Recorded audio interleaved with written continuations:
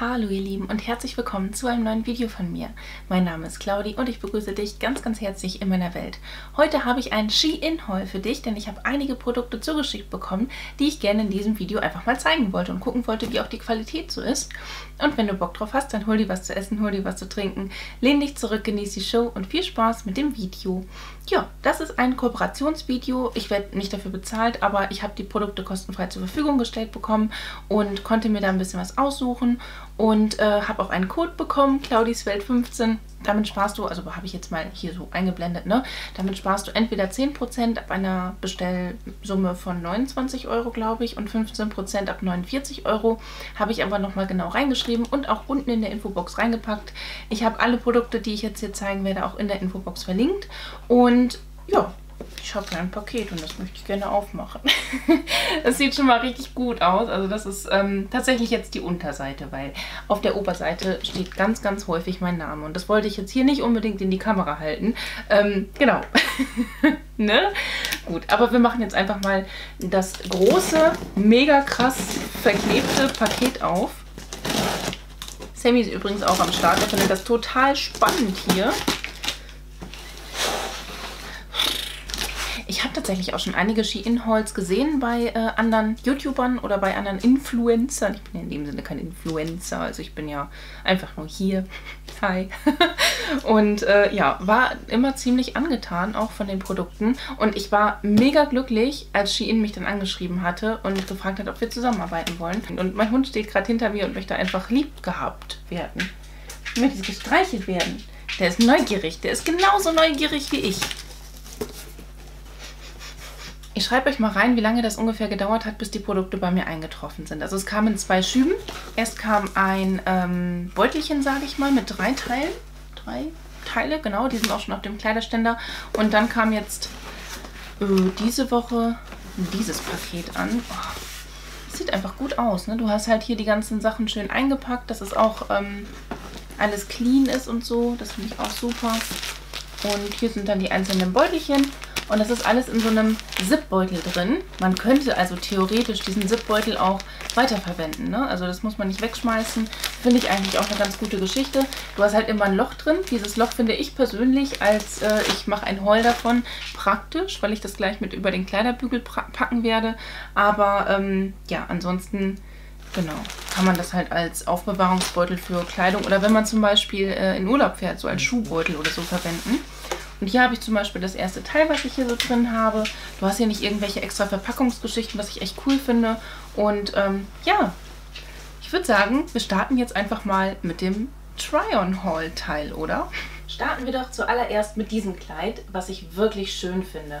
Also das ist halt auch ein Kleid, das kann ich im Büro anziehen, das kann ich zu Hause anziehen. Das kann ich anziehen, wenn es richtig heiß ist. Das kann ich auch anziehen, wenn es ein bisschen abkühlt und nicht mehr ganz so heiß draußen ist.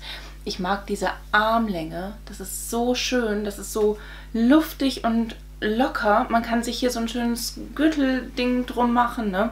Finde ich extrem schön. Ähm, ich mag es übrigens auch total, wie das hier von der Rockform aussieht. Denn ich mag es, wenn ich mich drehe und mein Kleid so richtig mädchenmäßig Wald. Also, also ich finde es total schön. Also das ist, fühlt sich auch richtig, richtig gut an. Und ähm, Passt jetzt auch voll zu meinem Make-up, ne? Mit den roten Lippen mag ich das richtig gerne leiden. Das ist halt ein ganz, ganz, ganz tolles Kleid, finde ich. Oder? Ich mag das. Für mich auf jeden Fall ein richtig cooles Kleid, ein entspanntes Kleid, womit ich mich auch sehr, sehr wohl fühlen kann, was nicht irgendwie irgendwas durchscheinen lässt und auch nicht zu aufreizend wirken könnte oder so. Echt top.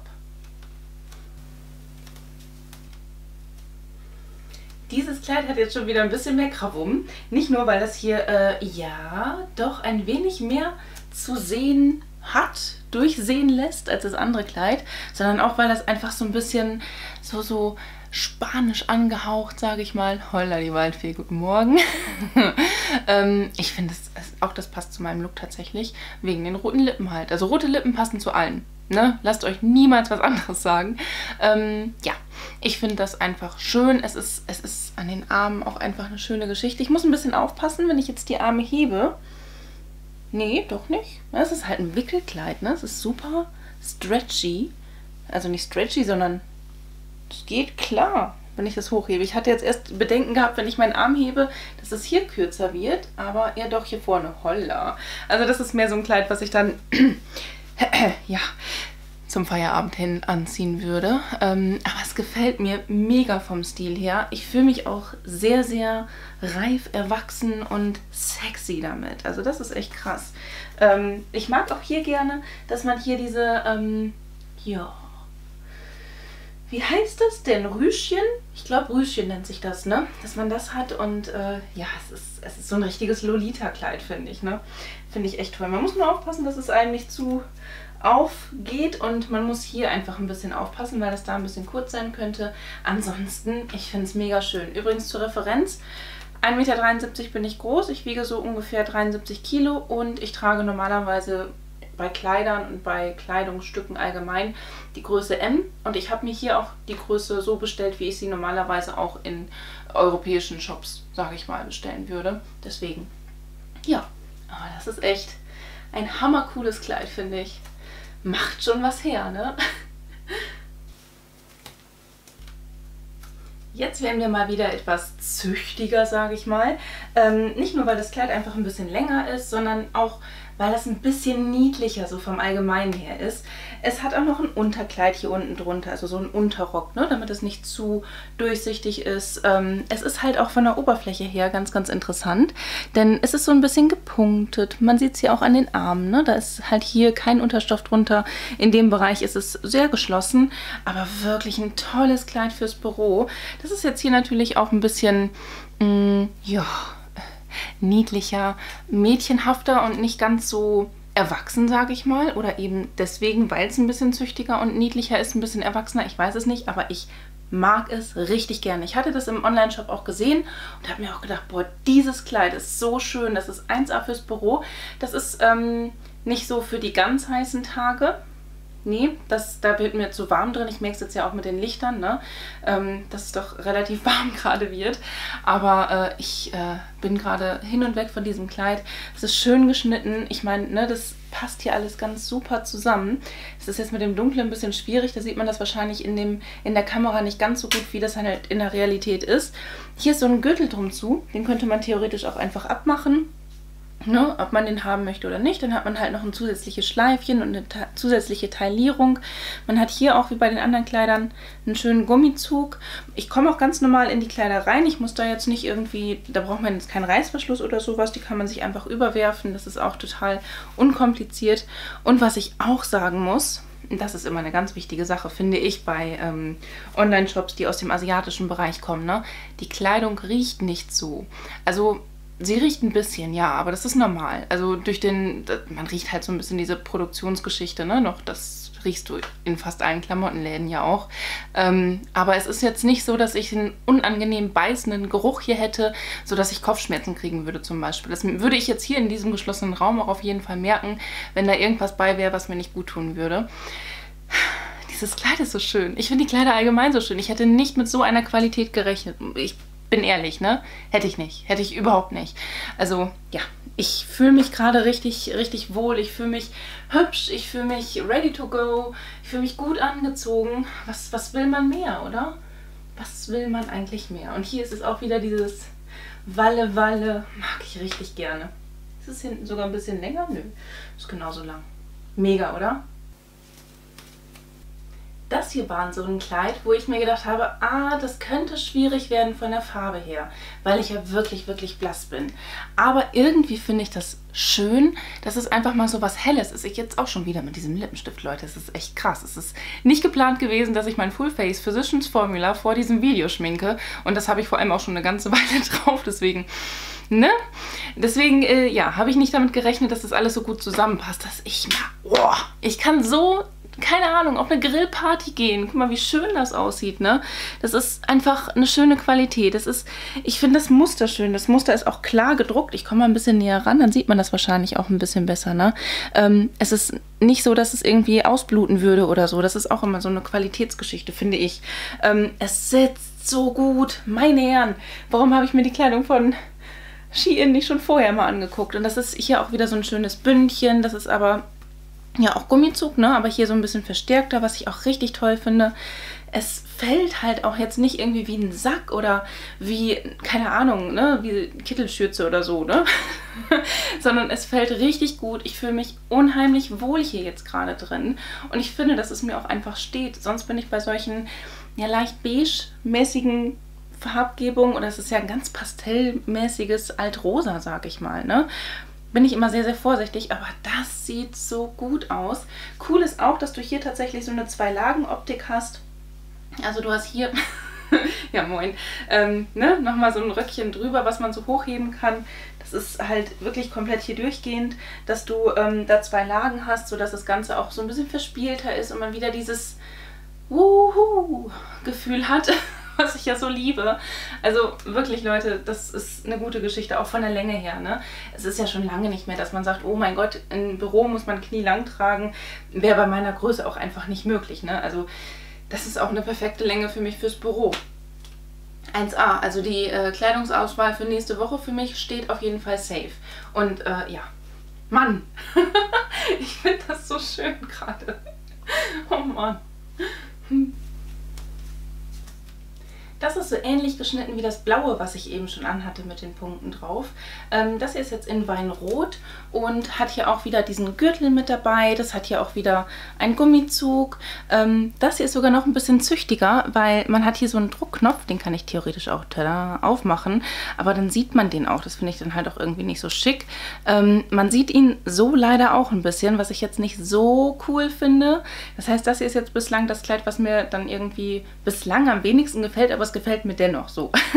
Auch hier hast du wieder bei den Armen dieses Muster. Das ist übrigens echt erhaben. Ne? Also die Punkte da drauf. Hier sieht man ein bisschen einen kleinen Verarbeitungsfehler, aber den kann man auch einfach abmachen. Ansonsten hast du hier nicht so abstehende Fäden oder sowas. Das finde ich auch ganz gut. Aber das war jetzt so ab und an hat man so ein bisschen was Loses aufliegen, aber das kann man einfach so runter machen.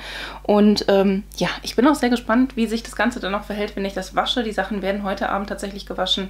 Wir haben es jetzt 20 vor 10, läuft bei mir ja, ansonsten, es sitzt gut.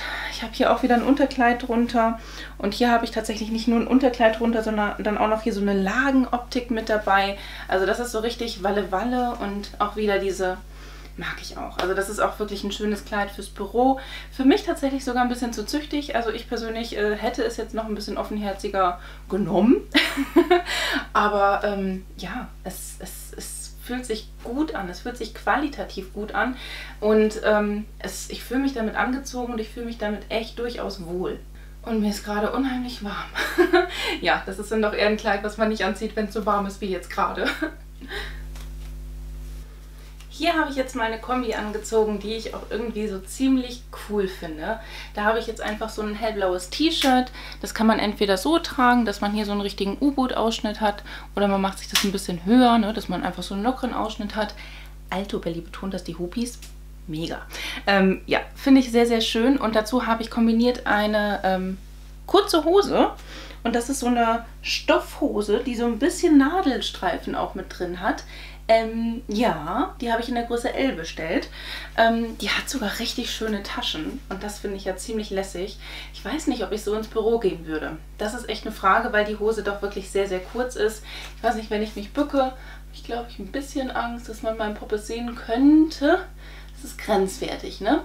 Ansonsten finde ich das als Kombi auch wirklich schön. Wow, stehe ich drauf. Ähm, genau, die Hose ist hier auch so zum Schnüren. Die hat hier ganz normal so eine Schließe, wie halt diese Anzugshosen manchmal haben. Aber ha, ich fühle mich gerade voll trendy, Mann. Und habe auch noch blauen Lidscher an. Das wollte ich nur mal kurz an dieser Stelle erwähnen. Naja, auf jeden Fall ähm, finde ich das wirklich schön. Ich mag das gerne leiden. Ich finde, dass es auch alles sehr bequem sitzt.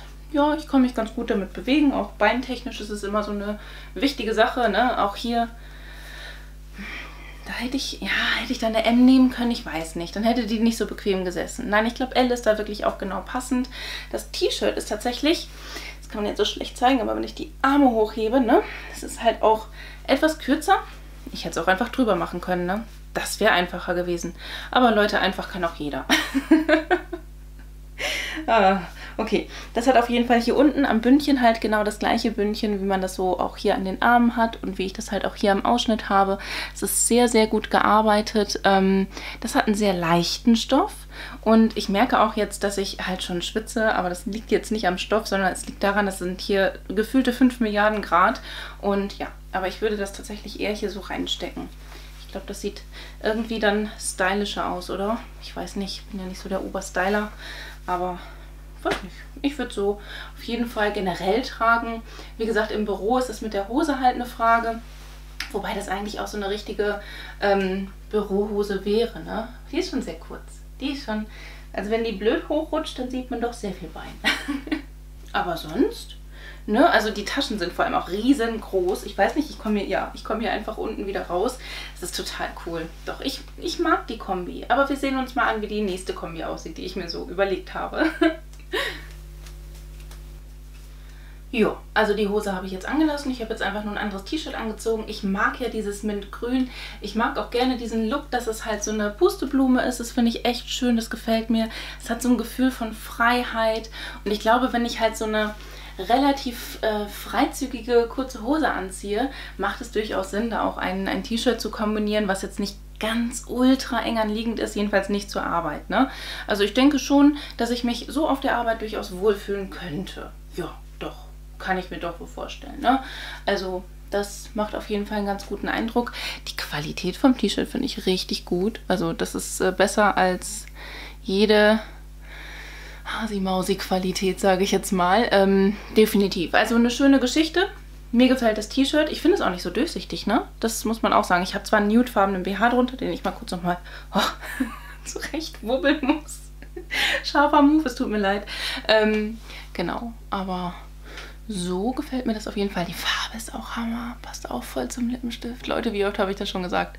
Ähm, ihr könnt übrigens auch gerne in den Kommentaren mal reinschreiben, wie ihr so die Outfits findet, wie ihr die so bewertet und äh, ja, was ihr findet, was mir steht und was mir eher nicht so steht. Das habt ihr auch in den anderen Videos gemacht, was ich auch voll gut finde und was ich auch definitiv für die Zukunft berücksichtigen werde. Denn das fühlt sich für, für mich einfach so an, als würde ich mit einer Freundin shoppen gehen, die mich dann entsprechend berat, berat, berät. Und das finde ich gut. So, so viel zu diesem ziemlich scharfen Outfit, was ich hier anhabe. Und jetzt werden wir mal ein bisschen was switchen. Ein bisschen was switchen ist gut. Ich habe jetzt einfach mal das komplette Outfit gewechselt und habe jetzt das letzte Outfit an. Und das, meine Lieben, ist der Hammer, oder? ich liebe den Schnitt von diesem T-Shirt. Oh, das ist hellblau. Ich weiß nicht, ob das in der Kamera auch hellblau rüberkommt. Ich mag, dass es hier so gerade runter geht und dann nochmal so, weil das macht irgendwie alles so schön. Das hat was von so einem, ein bisschen was von einem Dirndl, sage ich mal, aber auch so ein bisschen was von, von so einem Abendkleid, von so einem Prinzessinnenkleid. Ich fühle mich damit so unfassbar schick mega geil und äh, ich fange gleich an, hier irgendwelche Dornröschen-Lieder zu singen. Ähm, Wahnsinn. Und dann der Rock dazu, das ist doch auch klasse. Guckt euch den Rock mal an. Ich finde den so unfassbar schön. Als ich den eben ausgepackt habe, habe ich echt gedacht so, oh ja, endlich. Ich liebe solche Röcke. Ich habe einen so einen ähnlichen Rock und den rocke ich echt runter. Im Sommer trage ich den so, so häufig. Und jetzt habe ich endlich einen, der wirklich vergleichbar ist. Die Qualität ist top gefällt mir unheimlich gut. Das Outfit passt gerade so richtig gut zusammen. Ich fühle mich damit auch wirklich so, als würde ich auf so ein ganz kitschiges, mega romantisches Date gehen. So fühle ich mich. Wahrscheinlich dann aber nicht mit dem Lippenstift, oder? naja, aber das ist trotzdem eine ziemlich geile Nummer und ich finde, der Stoff ist wirklich super, super weich. Das ist wahrscheinlich auch wieder was mit Viskose, super angenehm. Wahnsinnig schön. Also den, den Rock, da muss ich auch nochmal zeigen, Leute. Das ist echt der Wahnsinn. Ähm, der hat hier ja die verschiedenen äh, Abteile, sage ich mal, ne? dass er dann so runterfällt. Hier oben ist er dann mit so einem sehr entspannten, sehr lockeren Gummizug. Ähm, hier haben wir so einen Unterrock, der ist null durchsichtig. Also ich habe hier drunter was Graues drunter, was man nicht sieht, Leute. Ähm, ansonsten bin ich bei weißen Rücken immer sehr vorsichtig und ich will die ganze Zeit so machen, weil ich mich so Oh, ich fühle mich so wohl in diesen Klamotten. Das ist echt schön. Also Leute, wirklich, guckt euch bei Shein mal um. Ich war am Anfang skeptisch, ich bin ehrlich und habe mir gedacht, ja, mal gucken, was da für eine Qualität dann hier ankommt. Ne? Aber dass da sowas bei rumkommt, dass da so geile Produkte mit bei sind, ich dachte mal, die Leute würden übertreiben und das wäre alles nicht so geil, aber das ist echt eine richtig gute Qualität. Du hast ja nicht irgendwie, dass da 5 Milliarden Fädchen daneben hängen, das stinkt nicht. Es fühlt sich gut an, es fühlt sich weich an, es fühlt sich nichts nach Plastik an. Es ist wirklich, wirklich toll und es gefällt mir und ich kann gar nicht aufhören, mich da in diesem Kameradisplay anzugucken, weil ich dieses Outfit so geil finde. Ne? Also, ob ihr vorbeischauen wollt oder nicht, ist eure Sache. Ich habe nur einen Code, den ich euch mit an die Hand geben kann. Und äh, ich weiß für mich, dass es für mich jetzt ein neuer definitiv Anlaufpunkt für mich werden wird in Sachen Mode und Beauty. Natürlich haben die auch manchmal Produkte, die meiner Meinung nach einfach zu kurz sind, die mir persönlich einfach nicht stehen werden, wo ich mich auch nicht mit wohlfühlen würde. Aber die Sachen, die ich jetzt hier rausgesucht habe, passen 1A zu mir. Also ich werde jedes Teil super gerne tragen. Vielen, vielen Dank, Shein, dass ihr mich ja angeschrieben habt, dass wir zusammengearbeitet haben. Und ähm, ihr Lieben, ne? Ich bin hin und weg. Ich freue mich gerade mega, dass ich die jetzt gleich meine Waschmaschine anstellen kann, die ganzen Teile waschen und dann halt in den nächsten Tra in den, in den nächsten Tagen tragen kann. So und ich bin fertig und mir ist sehr warm. Und wenn euch das Video gefallen hat, lasst mir doch sehr, sehr gerne einen Daumen nach oben da. Da würde ich mich nämlich mega drüber freuen. Ansonsten wünsche ich dir einen wunderschönen Tag, einen wunderschönen Abend. Lass es dir ganz einfach gut gehen. Fühl dich ganz doll gedrückt von mir. Ich verlinke dir mal hier oben meine Playlist mit den ganzen Hauls. Hier unten meinen neuesten Upload. Auf dieser Seite noch ein Video von mir. Und hier oben kannst du, wenn du möchtest und es vielleicht noch nicht getan hast, mich sehr, sehr gerne einmal kostenlos abonnieren. Ich würde mich echt von Herzen drüber freuen. Lass es dir gut gehen und hoffentlich bis zum nächsten Mal. Ciao!